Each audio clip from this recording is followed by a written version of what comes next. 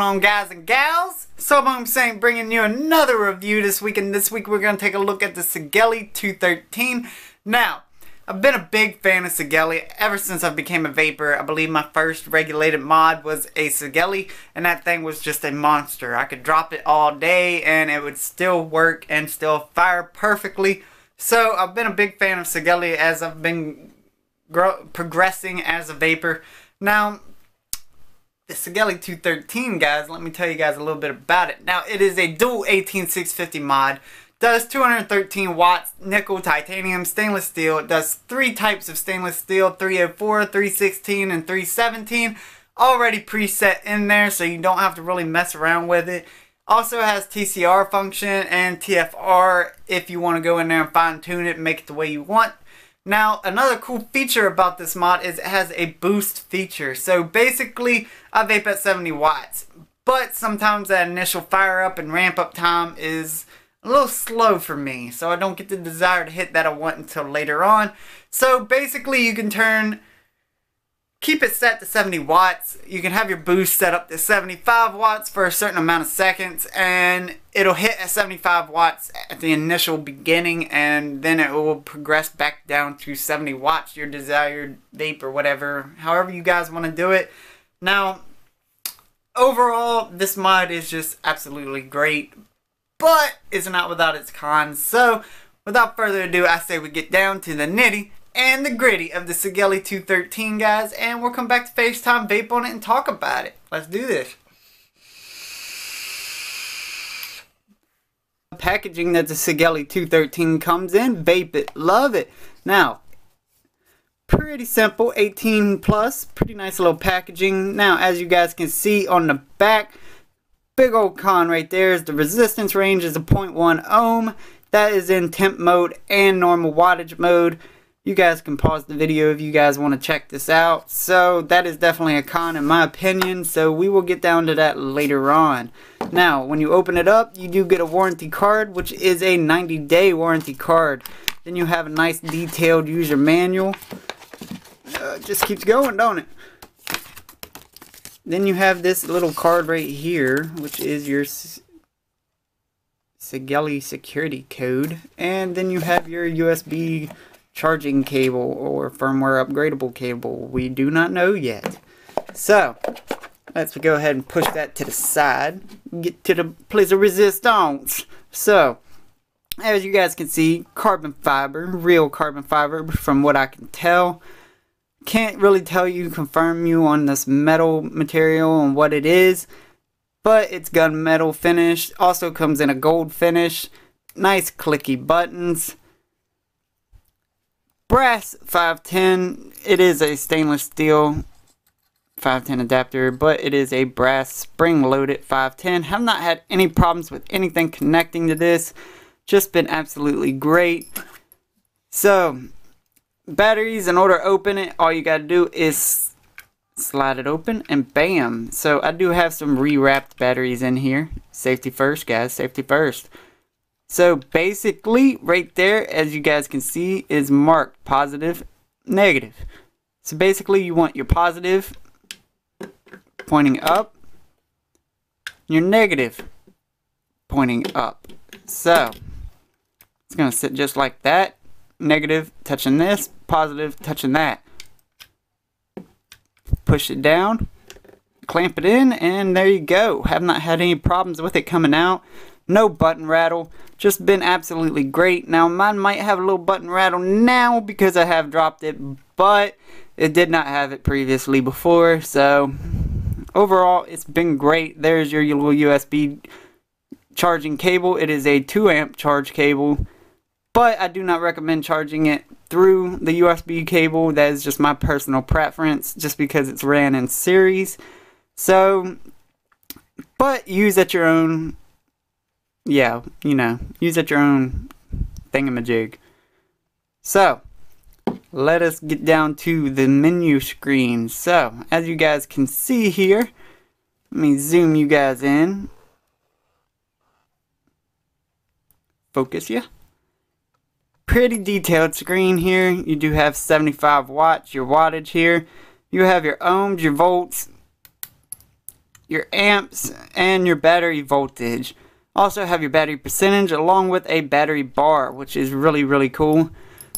Pretty detailed screen. Now what I'm going to tell you guys here is that in order to lock it, you have to click it five times. Let me go ahead and put on an atomizer here. That way we don't have to see check atomizer a hundred times. Alright. So. Come on now, focus. Five clicks will get you to lock it.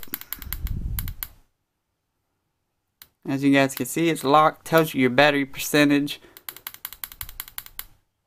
Five clicks to unlock it. Also press down and fire together. Up, oh, up. Hey now. There you go, and your button is locked. So to unlock it, just do it again. And there you go. So, fire three times to get into the menu system. You have your power, stainless steel, titanium, nickel, TCR, and TFR. So, basically, you go into stainless steel, you have 304, 316, and 317 already preset for you. Choose Fahrenheit or Celsius, and that is about it. It should go up to 570 degrees Fahrenheit all the way down to 200 degrees Fahrenheit. So, let's see here. One, two, three. Get you back in here. You have five presets for your TCR functions. I do not really mess with these, so yeah. But as you guys can see, it does say TCR, memory 5. Go back into power mode. Now, in order to lock your resistance, I don't know why I went into power mode for that.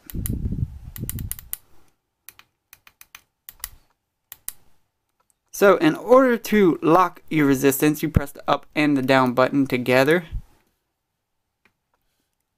And it will ask you if you want to lock it or read it. You can go ahead and lock it. And presto! So, wish you'd stay focused. That would be real. I'd really appreciate that. Now, press up and fire to adjust your preheat. Now, your preheat is basically, like I said, 75 watts. Say I wanted to hit at 80 watts. 80 watts for how many seconds? Do I want it for the whole round, well, not the whole time, but say for one second of the vape, I want it for 80 watts. So basically what it's going to do is it's going to va vape at 80 watts, drop me back down to 75 watts, which is a really, really cool feature. Really have been enjoying that. Also been fiddling around with it a little bit and trying to find my perfect vape here. So, because I bounced from 70 watts to 75 watts, so I've really been trying to balance it out, messing around with it. But it's a very detailed, great screen, nice buttons, nice and clicky. Love the carbon fiber and the gunmetal finish here. Just love the way the button placement is. Alright, here's the size comparison, guys. This is the Noisy Cricket. It is an unregulated series mod, which is a hybrid. But you get a pretty good idea here. Size comparison, not too much, not too big of much of a difference. Also have it beside the Cuboid 150 watt. It's a little bit smaller than that, so it's actually a really good, perfect little form factor for you guys. All right. Go back to FaceTime. Vape on it. Talk about it, guys. Alright guys, that was the nitty and the gritty of the Sigelei 213. Now, as I showed you guys in the close-up, the USB port is a 2 amp charge port. I do not know if it's firmware upgradable. Now, it does say on a couple different sites that it is, but it does not say it on Sigelei, so I do not know the exact meaning. I don't know if it's firmware upgradable or not, so don't quote me on it. But overall, guys, I mean, let me tell you my pros and my cons. That's the, that's the way to do it. Now, the price range of this is about $100, $110. I got mine. I purchased mine from Element Vape, so I will be putting a link in their description. You can buy batteries with it, all that good stuff. Now, the cons with this device is it can only fire to a 0.1 in temp mode. So, or standard Kanthal mode, 0.1 guys. So that is a big con. Hopefully it is a firmware upgrade and hopefully they do come out with a firmware upgrade to kind of lower that number. But that is my big con with this device is you can only fire down to a 0.1 in temp mode. Overall though, it's just a great mod. It's just sturdy, it's great, it's it doesn't have any button rattle. Now, mine might have a little button rattle now because last night I did drop mine at work. So, yeah. But I think the drip tip took most of the beating on that one. So, didn't get no scratches on it. Did drop it. I love the carbon fiber. Love the gunmetal finish. It also comes in a gold finish, gold and carbon fiber, but I like the gunmetal and carbon fiber myself. As me personally, I'm just not big on gold. I just don't know why. But anyways, guys, really like that. You can put your 24 millimeter or 25 millimeter devices and they still sit on there just perfectly. They don't have no overhang. Uh, it's just been getting giving me a great vape. I've been getting a great vape off of this Sigelei 213. I just really have been enjoying it. I love the boost feature. I love the all the presets and all that of the temp modes. Now, I love the 510. I definitely love the 510 just because it makes it a little less prone to getting scratched because uh, the ones that don't put the 510 on it, you know, the big old 510 kind of tends to scratch the paint up and when I get scratched on the paint, I kind of get mad. I don't know why. I mean, I know it's just a vape, but at, at the same point, it's kind of like, but I want I want it to look good, even if an RDA is still on there or not. But anyways, guys, I'm rambling on. So I basically really enjoy this mod. I really love the size of it. I mean, it's just so small. As you guys showed, as I showed you in the close-ups, the comparisons, it's really small for a dual 18650 mod, and that's what I really, really like about it. It's really comfortable in the hand. Battery life has actually been really, really great, so I definitely highly recommend it. It is Sub-Ohm Saint approved, you guys. Now, that's all I can really say about it, guys. I will leave a link in the description, as I always do where you can get one. And thank you guys so much for watching. Please leave a like, comment, and I will get back to you. As always, I will try to comment back as fast as possible and as soon as possible. So if you have any questions for me or you just want to talk, just go ahead, leave a comment below, and don't forget to subscribe, and I will see you guys next time. Thank you so much for watching, and I'll see you guys next time for the nitty and the gritty.